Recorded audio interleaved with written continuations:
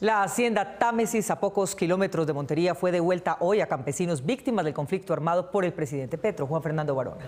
Mónica, esa hacienda y dos más que fueron símbolo del terrorismo paramilitar de los años 90 estaban en poder del clan Castaño. Hoy dos asociaciones campesinas las recibieron para cultivarlas.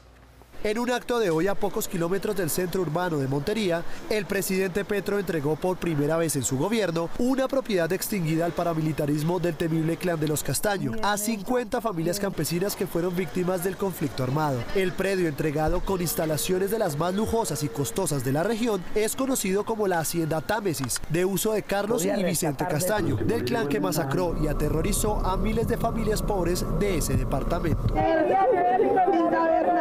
es que esta tierra en paz pueda producir alimentos en manos del pueblo campesino, que se volverá 10 hectáreas por campesino,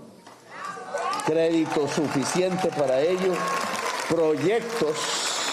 proyectos productivos para ello Támesis de 590 hectáreas cuenta con una inmensa piscina, extensos salones comunales, por lo menos 14 cuartos con más de 25 camas y en donde, según el presidente, se organizaban grandes narcofiestas. Ahora, esta propiedad se dedicará a la agricultura que se convertirá en el medio de subsistencia de las víctimas de despojo. Estamos entregando el control de uno de los principales activos de la nación,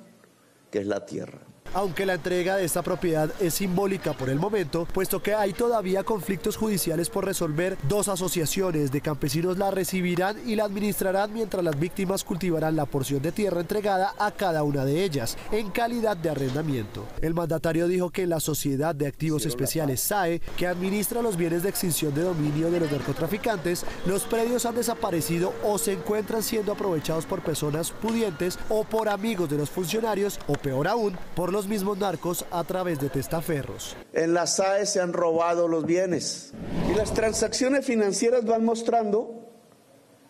que las ventas y compras de ganado que se hacían desde este punto, porque siguió siendo un centro económico, eran las mismas que se hacían